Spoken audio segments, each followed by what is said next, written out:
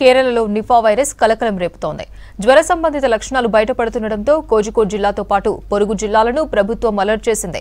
August ముప్పైతో పాటు ఈ నెల పదకొండున నిఫా వైరస్ ఎఫెక్ట్తోనే ఇద్దరు మృతి చెందినట్లు పూణేలోని National Institute of Virology centre తేల్చింది. అటు మృతుల బంధువుల శాంపిల్స్ను సైతం పరీక్షల కోసం పంపించారు.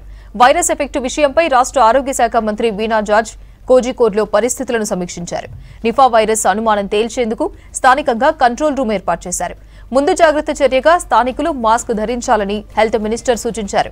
అటు జిల్లాలను భయపెడుతున్న నిఫా వైరస్ను తీవ్రంగా పరిగణిస్తున్నట్లు సీఎం పినరై విజయన్ చెప్పారు. క్లోజ్ కాంటాక్ట్లో ఉన్న వారిలో ఎక్కువ మంది చికిత్స తీసుకుంటుండటంతో ఆందోళన అవసరం లేదన్నారు.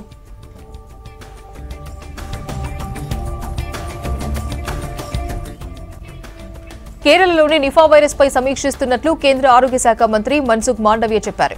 రాష్ట్ర అధికారులకు సాయం అందించేందుకు కేరళకు కేంద్రం నుంచి నిపుణుల బృందాన్ని పంపినట్లు మాండవ్య తెలిపారు. నిఫా వైరస్ సోకిన గబ్బిలాలతో ప్రత్యక్ష లేదా పరోక్ష కాంటాక్ట్ ద్వారానే మనుషులకు వ్యాపిస్తున్నట్లు నిపుణులు చెబుతున్నారు.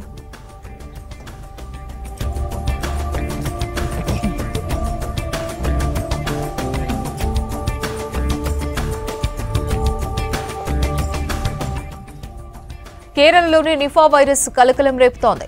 జ్వర సంబంధిత లక్షణాలు బయటపడుతుండటంతో కోజికోడ్ జిల్లాతో పాటు పొరుగు జిల్లాలను ప్రభుత్వం అలర్ట్ చేసింది. ఆగస్టు ముప్పైతో పాటు ఈ నెల పదకొండున నిఫా వైరస్ ఎఫెక్టుతోనే ఇద్దరు మృతి చెందినట్లు పూణేలోని National Institute of Virology centre తేల్చింది.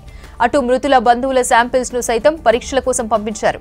Virus effect విషయంపై రాష్ట్ర ఆరోగ్య శాఖ మంత్రి వీణా జార్జ్ కోజికోడ్లో పరిస్థితులను సమీక్షించారు. నిఫా వైరస్ అనుమానం తేల్చేందుకు స్థానికంగా కంట్రోల్ రూమ్ ఏర్పాటు చేశారు.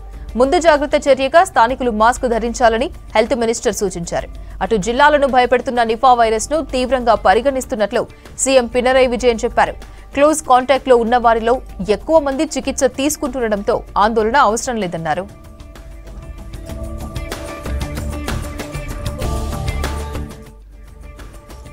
కేరళలోని నిఫా వైరస్ పై సమీక్షిస్తున్నట్లు కేంద్ర ఆరోగ్య శాఖ మంత్రి మన్సుఖ్ మాండవ్య చెప్పారు. రాష్ట్ర అధికారులకు సాయం అందించేందుకు కేరళకు కేంద్రం నుంచి నిపుణుల బృందాన్ని పంపినట్లు మాండవ్య తెలిపారు. నిఫా వైరస్ సోకిన గబ్బిలాలతో ప్రత్యక్ష లేదా పరోక్ష కాంటాక్ట్ ద్వారానే మనుషులకు వ్యాపిస్తున్నట్లు నిపుణులు చెబుతున్నారు.